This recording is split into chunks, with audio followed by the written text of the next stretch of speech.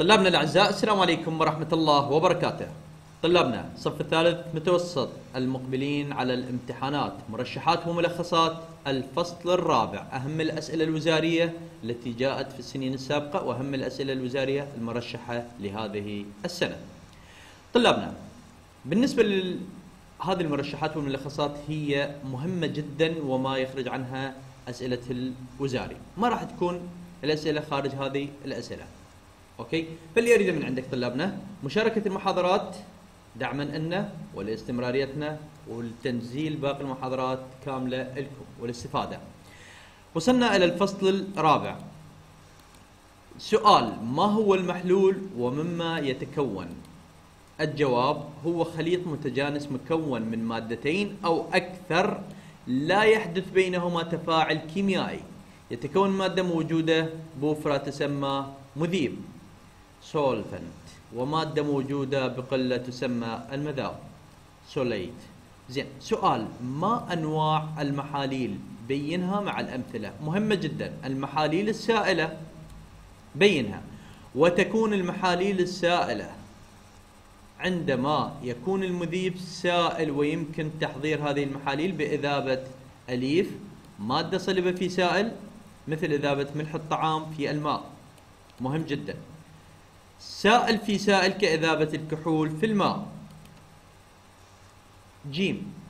غاز في سائل كإذابة غاز كلوريد الهيدروجين في الماء. ثانيا المحاليل الغازية. وتكون المحاليل الغازية عندما يكون المذيب غاز. مثل غاز في غاز مثل الهواء الجوي. المحاليل الصلبة. ثلاث محاليل. وتكون المحاليل صلبة عندما يكون المذيب صلب. مثل صلب في صلب مثل السبائك المختلفة وأهمها قطع النقود المعدنية وسبائك الذهب. دير بالك عليهن تعاريفهن مهمة.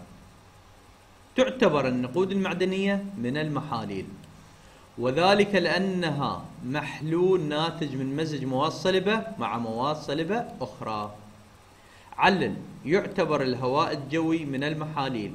السبب لأنه مزيج من غازات مختلفة أي أنه محلول ناتج عن خلط غاز مع غاز.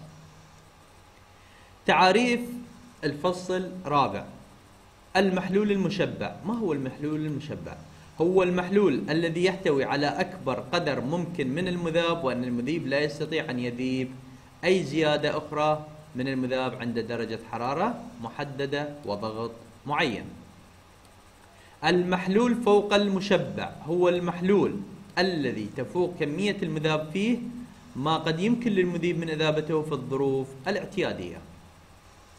طبعا لا تكملة وهو محلول غير ثابت حيث أنه يلفظ الكمية الزائدة من المذاب على شكل راسب ليتحول إلى محلول مشبع. المحلول غير المشبع. أيضا دير بالك يأتني على شكل فراغات وهو المحلول الذي يحتوي على كمية من المذاب أقل من الكمية اللازمة للتشبع عند درجة الحرارة والضغط المحددين. المحلول الإلكتروليتي وهو المحلول الذي تتأين فيه جزيئات المذاب.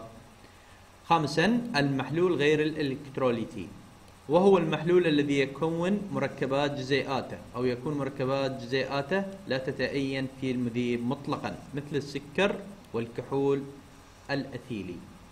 سؤال. ما الفرق بين مذاب الكتروليتي قوي ومذاب الكتروليتي ضعيف؟ طبعا سؤال وزاري مهم جدا. قارن أو الفرق بيناتهن. المذاب الكتروليتي القوي تتأين جزيئاته بشكل تام مع المحلول مثل حامض الهيدروكلوريك. المذاب الالكتروليتي الضعيف تتأين جزيئاته بدرجة غير تامة واحيانا بدرجة بسيطة جدا مثل حامض الهيدروفلوريك حيث يتفكك يتأين بدرجة قليلة جدا في المذيب وتكون أيوناته في حالة توازن مع الجزيئات غير المتآينة. عرف قابلية الذوبان. ما هي قابلية الذوبان؟ هي أكبر كمية من المادة المذابة. يمكن أن تذوب في حجم ثابت من مذيب معين للحصول على محلول مشبع عند درجة حرارة معلومة محددة. سؤال. أيضا ما هي العوامل المؤثرة على قابلية الذوبان طبيعة المذاب والمذيب. درجة الحرارة الضغط. تمام. سؤال يقول بفرض أنك تريد إذابة بلورة كبيرة من ملح الطعام الصخري في الماء صف وسائل تساعدك على سرعة إذابتها. انتبه. طحن البلورة الكبيرة مع الملح وذلك لزيادة المساحة السطحية المعرضة لعملية الذوبان. واحد هذه.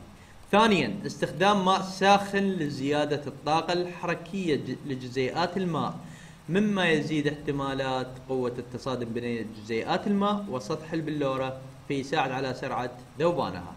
ثالثا رج المحلول إحنا نقول الخوطة. تمام. علل. تحريك قدح الشاي بالملعقة بعد وضع السكر فيه. السبب. ماذا تؤدي عملية الرج طبعا السؤال نفسيته لكن جايني بطريقتين في الوزاري. انتبه طلاب على نوعية الأسئلة. عملية الرج هي نفسيتها. تحريك قدح الشاي. تؤدي عملية الرج إلى ملامسة سطح البلورات بالماء بصورة أكبر. لأن عملية الذوبان ظاهرة تتعلق بالسطح المعرض للذوبان وهذا السبب في تحريك قدح الشاي بالملعقة بعد وضع السكر فيه.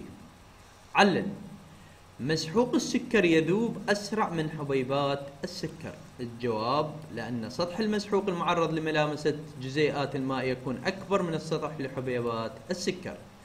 إذا نستنتج أنه كلما ازداد سطح الماء المذابة المعرضة للمذيب ازدادت سرعة الذوبان سؤال أيضا يقول ما الذي يحدد قابلية المذيب على الإذابة؟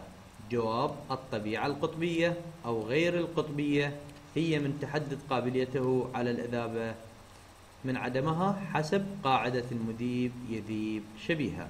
أي أن المذيب القطبي يذوب لا مذاب القطبي والعكس صحيح.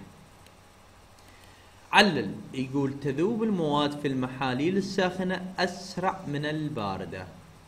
في المحاليل الساخنة طبعا هي تزداد الطاقة الحركية للجزيئات المذيب مما يزيد احتمالية زيادة عدد الاصطدامات بين جزيئات المذاب والمذيب فتزداد قابلية الذوبان والمذيب.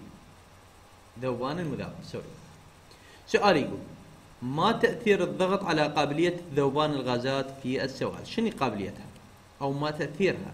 كلما زاد الضغط المسلط على الغاز المراد ذابته كلما ازدادت قابلية ذوبانه أيضا عندنا هنا نقارن أو ما الفرق. ما الفرق بين ذوبان السكر في قدح من الماء البارد وآخر في قدح من الماء الساخن؟ طبعا يكون يذوب السكر في قدح الماء الساخن أسرع من ذوبانه في قدح من الماء البارد لأن الطاقة الحركية لجزيئات الماء الساخن تزداد وبذلك تزداد العدد الاصطدامات طبعا نفس الجواب مال المحاليل الساخنة. كيف يمكنك تحويل محلول مركز إلى محلول مخفف؟ كيف؟ وذلك بإضافة كمية أخرى من المذيب. كلما زدنا بإضافة المذيب تركيز أو يخف تركيز المحلول أكثر فأكثر. سؤال عرف التركيز بالنسبة المئوية الكتلية وهو عدد وحدات الكتلة من المادة المذابة في 100 وحدة كتلة من المحلول النسبة الكتلية المذاب أو المذيب ببساطة أو ببساطة في عدد غرامات المذاب في 100 غرام من المحلول. طبعا طلابنا الأعزاء وصلنا آه، كيفية حساب النسبة المئوية للمذاب والمذيب. طبعا الكيفية موجودة هنا قدامنا لكن إحنا راح نشرحها في فيديو أو محاضرة كاملة. أوكي طلابنا؟ كل هذه الأسئلة اللي جت بالسنين السابقة طبعا تجينا عليها 20 درجة بالنسبة لمسائل الكيمياء. فإن شاء الله راح نشرحهن شاملات. لهنا طلابنا انتهى الفصل الرابع. أتمنى وصلنا لكم المعلومة لا تنسون طلابنا دعاءكم لبعضكم بالتوفيق ودعاكم لجميع المرضى. وإن شاء الله أشوفكم في أعلى على المراتب. والسلام عليكم ورحمة الله.